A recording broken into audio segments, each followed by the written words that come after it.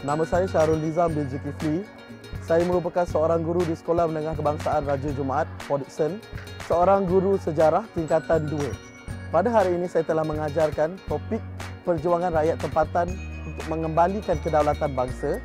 Saya telah menggunakan pendekatan ICT dan juga penggunaan IT Map di dalam pengajaran. Saya juga pada peringkat permulaannya telah menggunakan kaedah untuk mendefinisikan perkataan untuk merangsang pemikiran pelajar.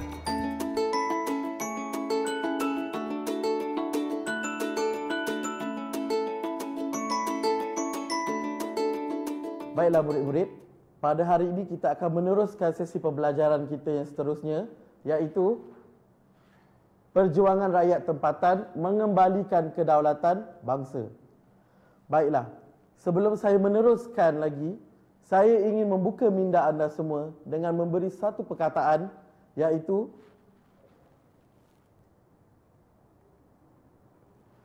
perkataan penentangan. Apakah yang anda faham mengenai perkataan ini? Ada pelajar yang ingin mencuba? Ya, silakan Kishan Rash. Menentang musuh. Baik, terima kasih.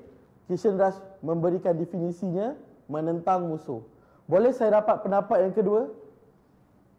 Penentangan bermaksud menentang sesuatu benda yang kita tidak suka. Terima kasih Syarul.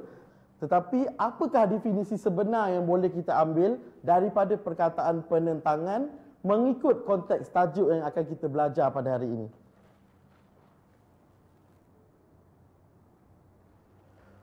Baiklah, apa yang dapat lihat di skrin sekarang ialah beberapa definisi yang boleh kita buat berdasarkan perkataan penentangan.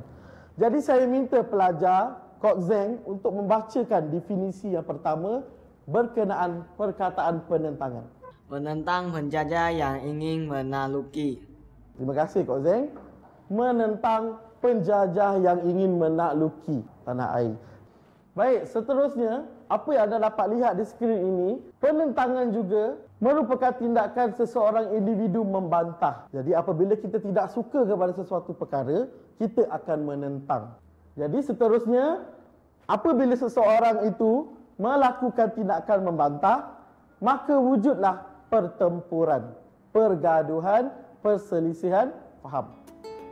Kemudian, pada peringkat kedua, saya telah memilih beberapa orang pelajar untuk tampil ke hadapan untuk membuat pembentangan. Tugas telah saya berikan lebih awal sebelum saya memulakan sesi pembelajaran.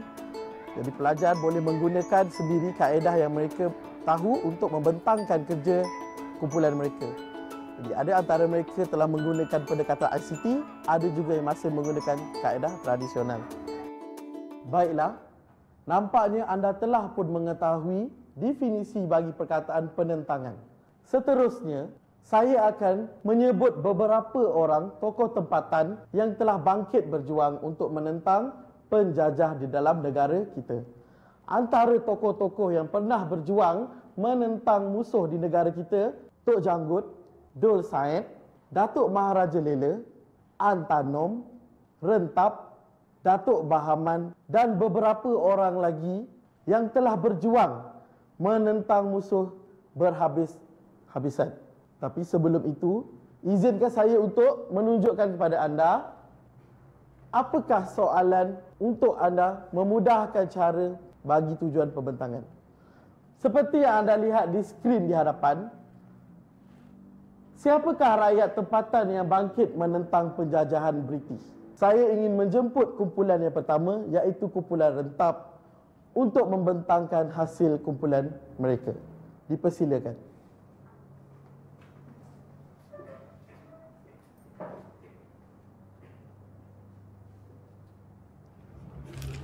Sejahtera kepada guru-guru dan rakan-rakan sekalian. Hari ini kumpulan saya membentangkan tentang rentak Bira Sarawak Hagi Hidup Agi Nyelaban. Bayarta Rentak Bira Sarawak ialah nama sebenar Libak maksudnya pengoncang dunia.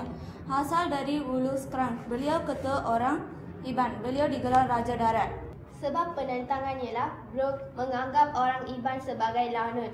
Brooke mem- membina kubu di Nanga Skrang. Brooke menghapuskan pentempatan orang Iban di Sungai Skrang. James Brooke meluaskan kuasanya di sepanjang Sungai Skrang. Pentadbiran Brooke mengubah tradisi Iban. Slogan Rentap Wira Sarwa ialah Agi Hidup Agi Melaban. Slogan itu bermaksud selagi hidup selagi itulah berjuang. Hari ini kumpulan kita akan membentangkan tokoh yang bernama Antano. Faktor-faktor melarang membuka tanah baru seperti hak mereka di Cirebon apabila SPUB telah melarang mereka membuka tanah baru mengenakan cukai yang membebankan. SPUB telah mengenakan berbagai cukai yang membebankan mereka. Mencerobohi kawasan hutan. SPUB menceroboh urat hutan untuk pembinaan. Peristiwa pada bulan Februari 1915 Antanom membakar bangunan kerajaan di persaingan.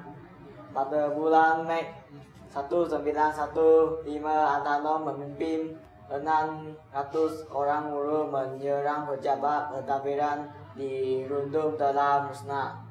Pada bulan April 1915 400 orang tentera SPUB menyerang kubu pertahanan Antonom di Sungai Selangit.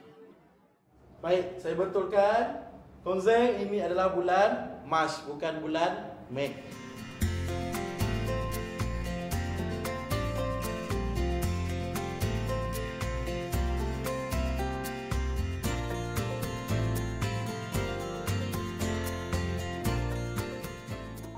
Penilaian pula, saya telah menggunakan peta IT.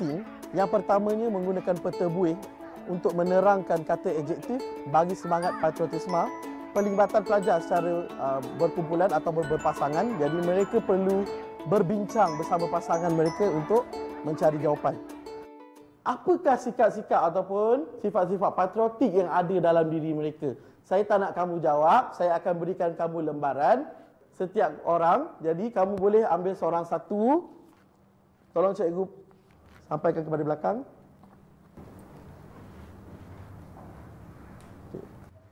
Itu adalah merupakan contoh peta buih untuk menerangkan kata sifat yang ada pada seorang pahlawan.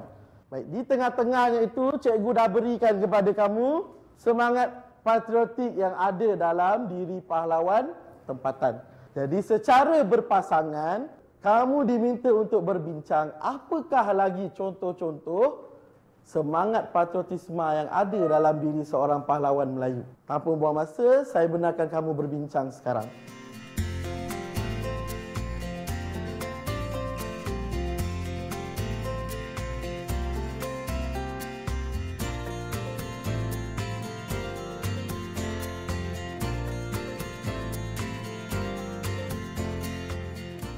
Baiklah, ada yang boleh menyenaraikan kata adjektif ataupun kata sifat yang ada pada seorang pahlawan.